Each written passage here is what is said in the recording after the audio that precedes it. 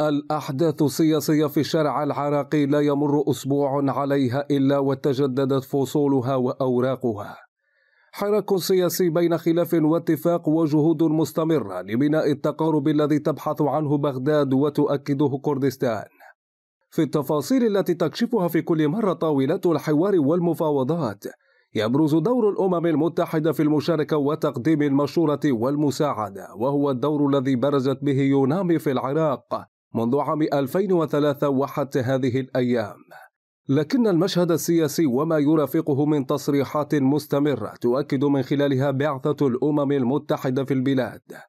يبث عدة تساؤلات من شأنها معرفة دور الأمم المتحدة في مستوى تأثيره على تقارب المشهد السياسي أو أنه مجرد دور دبلوماسي تقوم به بلاسخارت في لقاءاتها مع القادة السياسيين والمسؤولين في البلاد.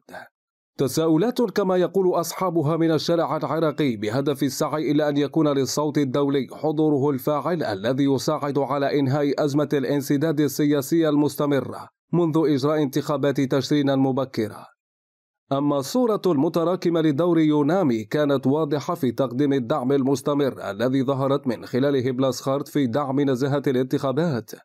ومن ثم حث السياسيين على التقارب ولغة الحوار لإنهاء الانسداد.